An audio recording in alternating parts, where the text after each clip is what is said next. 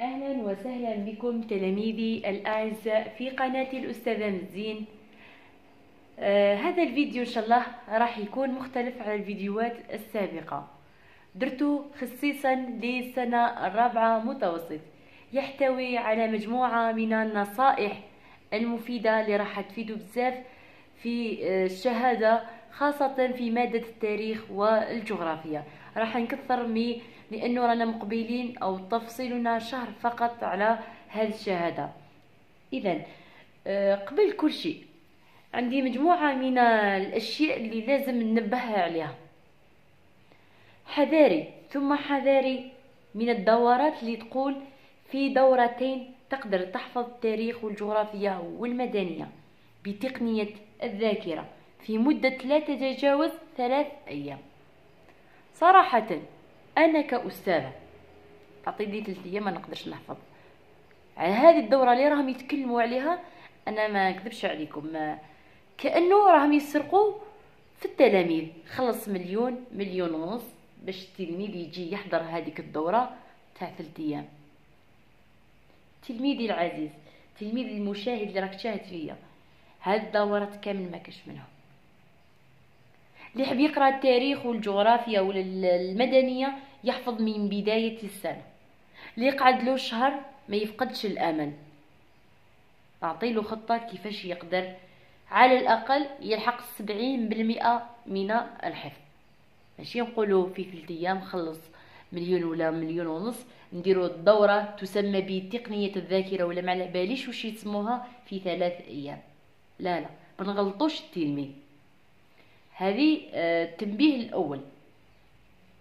ثانيا آه، التلميذ ننصحه ونعاود.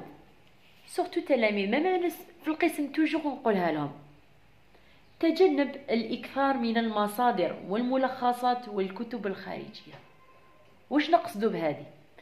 معناتها أنه التلميذ المصدر تاعو الأول هو الكراس الكاي تاع تاع البروف تاعك. اللي تقرأ به في القسم. هذاك هو المصدر تاعك. لأنه علاه لأنه أنت من بداية السنة إلى نهاية السنة وأنت تحفظ في هذاك الكراس. إحنا الذاكرة تاعنا عندها الذاكرة البعيدة والذاكرة القريبة. معناتها كي تفوت تراجع من ال cahier تاعك c'est bon المعلومة دخلت. juste بك ما تروح تراجعها تحاول ترجع لك. دوكا أنت مع la fin هديه تروح تشوف الملخصات تبدأ تجيب في الكتب الخارجية. d'accord تروح تحفظ. يدخل لك الحفظ هذيك تدخل ماشي ما يدخلكش. مين تحداك اذا يوم امتحان تروح تجوز إذا تتفكرهم. مستحيل. لأنه علاه والظاهرة هذه تاع الملخصات. ما كاش حاجة أبنائي ما كاش حاجة اسمها الملخصات. الملخصات صح راني معاك. إذا الملخصات درت ملخصات عفوا درتهم نتايا. أنا قريت قريت كامل الكراس في القسم مع الأستاذ. ومن بعد بديت نلخص. نلخص كيفاش نلخص؟ أنا نلخص بالطريقة اللي تساعدني أنا. ندير مخططات ندير الأشياء اللي نقدر نج... أصلا الحفظ الحفظ. كي تكون تحفظ كاين أشياء تذكرك بأشياء. هكذا تحفظ. يبقى يبقى الملخص أنت اللي ديرو. أنا ما نقدرش نروح نحفظ ملخص تاع أستاذ فلاني ملخصات راهم في الإنترنت في الفيسبوك في ال page الفلانية. لا لا.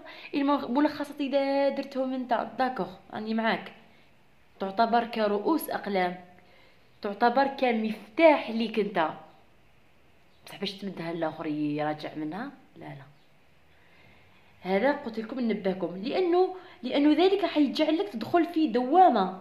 تاع الاختلاف المعلومات. مثلا ثاني يروح يجيبوا الكتب الخارجية ويجيب ملخصات قلت من الانترنت والمصادر من هيك. يولوا عنده حنايا نعرفوا باللي التاريخ والجغرافيا فيها المعلومات بزاف. المعلومات تختلف والتلميذ كي يختلفوا عليه المعلومات راح يدخل في دوامة. من بعد نهار الشهادة نهار روح يجوز يلقى يحدث له ارتباك. ما يقدر يجاوب واش كاين عطالو الأستاذ في ال cahier تاعو؟ ما يقدر يروح يجاوب حتى عفسة. يقعد هكذا كيدور. et bah je préfère في la fin تروح لل cahier تاعك هو المصدر الوحيد ليك. هذا ما كان جيد. نروح إلى النقطه الثالثه اللي هي قلت آه، قائمة تواريخ. احفظها في مكانها. واش نقصدو؟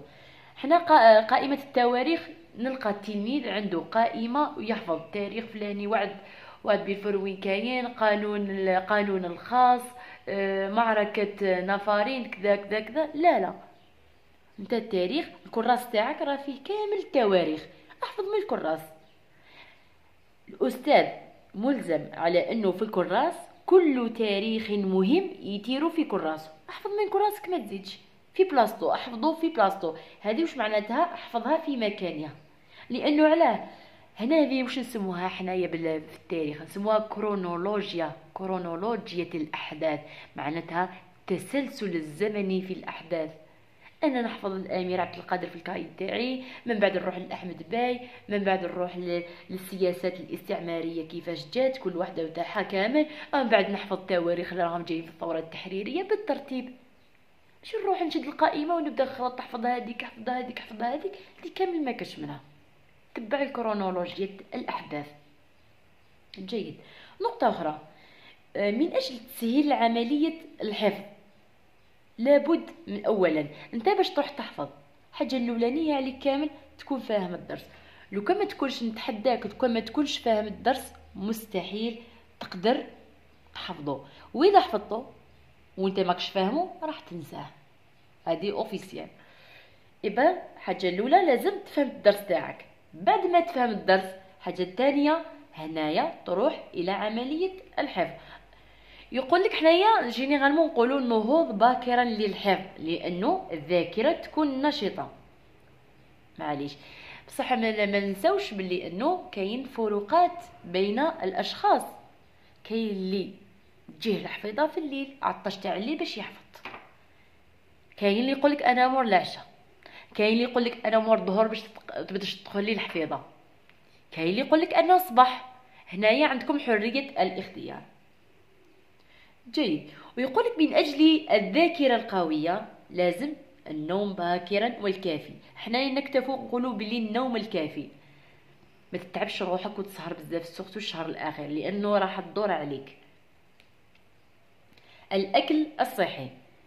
évitez الماكلات تاع برا كل غير الأكل الصحي. الرياضة الحركة معناتها كي دير ال programme تاعك وتقرأ كامل لازم دير فيه رياضة على الأقل مرة في الأسبوع ولا ماشي كامل تقعد sans arrêt وانت تقرأ. أكيد تنظيم الوقت. الآن رانا وصلنا إلى أسبوع قبل الامتحانات. أسبوع قبل الامتحانات تلميذ خلاص يكون كمل عملية الحفظ. وش لازم عليه يدير؟ إعادة مراجعة كل الدروس. الكاي اللي يكون قدامه ولا الكراس تاع التاريخ والجغرافيا والمدنية. يشد هذاك الكراس. كل درس يقعد معاه عشر دقائق فقط. يعني خفيف خفيف. ويزيد يحل تمارين حول المنحنيات أو الرسومات يحل كامل تمرين تمرين عليهم باش ما تروحلوش لا ميثود. الطريقة ما تتبحرلوش وتروح له هذه نتكلم على أسبوع قبل الامتحانات. جيد. نروح الآن إلى يوم قبل امتحان مادة الاجتماعيات. الاخرين يقول لك النهار تكون تجوز في الامتحانات ما ترفدش ما تراجعش. لا, لا يوم قبل الامتحانات. أفتح الكراس تاعك تكون جوز اليوم الأول ما عندكمش التاريخ والجغرافيا اليوم الثاني العشية كي توصل ت reposer تريح أجبد لي cahier تاعك تاع الاجتماعيات. أنت واش دير هنا؟ هنايا ما حاش تحفظ أكيد. راح تشد الكراس تاعك تبدأ تقلب فيه ورقة بورقة. افتح كراسك وقلب صفحاته كأنك راك تقرأ. تقرأ من الورقه من الأولى للثانية. أقرأ برك أقرأ برك من الأول لاخر راك ترتب في الأفكار تاعك في المخ تاعك. هذا مكان هذه قبل ما تروح ترقد. كي ترقد؟ الصباح كي تنوض.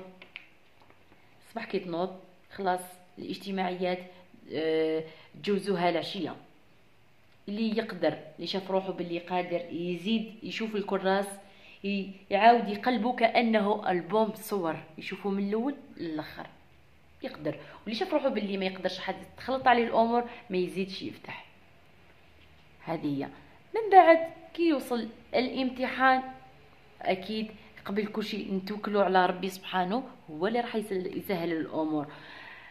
هذه هي نصائح كامل اللي اللي مديتهم لكم. فقط آه، بعض التعليقات آه أحد التعليقات قالت لي تلميذة قالت لي أستاذة أنا نكون حافظة. juste ما يشدوا لي الآخرين ننسى كامل وننسى الدرس الأول الدرس الثاني تخلطوا لي كامل. آه، النصيحة اللي نعطيها لك هي إنه ما كي ناسيه حتى حاجة. الارتباك هو اللي دار لك هكذا وما تكثريش المصادر. خلي المصدر واحد فقط ليك اللي هو الكراس والشرح آه، الشرح واش يناسبك؟ هاي القناة راهي تاعي أمامك. آه، الشرح اللي تحتاجيه نقدر نوفره لك. آه هذه هي كانت هذه هي نصائح اللي نقدر نمدها في مادة الاجتماعيات. انتظروني في فيديو أخر إن شاء الله راح ندير لكم تحفيزات ولا كيفاش تتعامل مع ورقة ورقة التاريخ والجغرافي وتجيب فيها أعلى علامة. شكرا لكم على حسن المشاهدة. وإذا عجبكم الفيديو ما تنسوليش الضغط على زر الاشتراك والإعجاب ليصلكم كل جديد. وشكرا لكم على حسن المشاهدة.